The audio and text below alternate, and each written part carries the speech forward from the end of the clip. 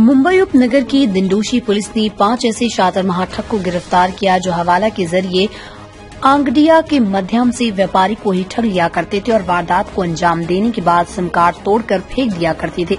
विगत बीस दिसंबर को मध्य प्रदेश के इंदौर के एक व्यापारी ने दिंडोशी पुलिस स्टेशन में शिकायत दर्ज कराई।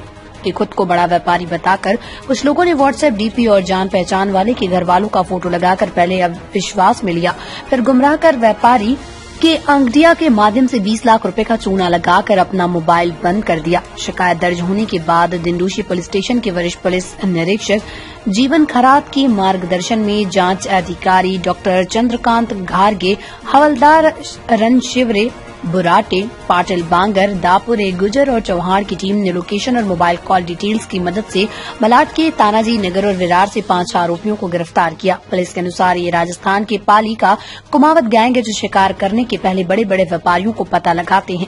उनका क्या व्यापार है, परिवार में कौन है, कितने परिवार है, ये पता लगाकर सारी जानकारी इकट्ठा कर लेते हैं। फिर किसी एक व्यापारी को अपना निशाना बनाते हैं और उस व्यापारी को फ़ोन करके कहते हैं कि आपके पापा ने कहा कि व्यापार के लिए कुछ पैसों की ज़रूरत है।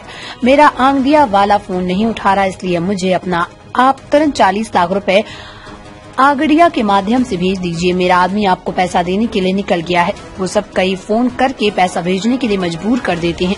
पुलिस उन लोगों से पूछताछ कर रही है। मुंबई से नवी शक्ति न्यूज़ की रिपोर्ट।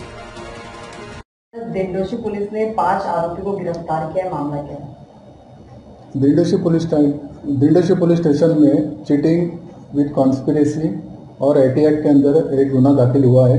उसकी हकीकत ऐसी है 17 दिसंबर 2022 को ये जो फिरियादी है उज्जवल चांडव इंदौर के रहने वाले हैं। उन्हें आ, उनके मित्र भूरालाल जैन इन्होंने फ़ोन करके कहा कि उनका एक मित्र है जीतमल जैन। उनके बेटे को, यश जैन को 20 लाख रुपए अर्जेंट मुंबई भिजवाने हैं। तो आप उनकी सहायता कीजिए। और उन्हें यश जैन का नंबर भी दिया। यश जैन ने कहा, मैं पैसे लेकर आ रहा हूँ। आप, मुझे थोड़ा वक्त लगेगा, लेकिन वहाँ पे पैसा भिजवाना बहुत ज़रूरी है अर्जेंट आप ज़रा तुरंत कैसे भी करके अरेंज करके 20 लाख रुपए मुंबई भिजवा दीजिए। मैं पैसे लेके आ रहा हूँ करके। उनकी बातों पर विश्वास करके फिरियादी ने मुंबई में बीस लाख रुपए ट्रांसफ़र किए और इसका इंतज़ार करते गए, फिर यह चैन आया नहीं, सामने आया नहीं तो उनको डाउट आया। उन्होंने वहाँ फ़ोन किया, उनके पिताजी को फ़ोन किया, जितमल जैन को फ़ोन किया तो जितमल जैन ने कहा, मेरे, ये मेरे बेटे का नंबर नहीं है और मेरे बेटे लिए को, कोई पैसा किसको भिजवाना नहीं है।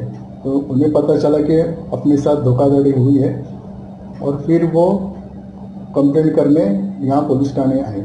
सर ये लोग किस तरीके के लोगों को टारगेट करते थे?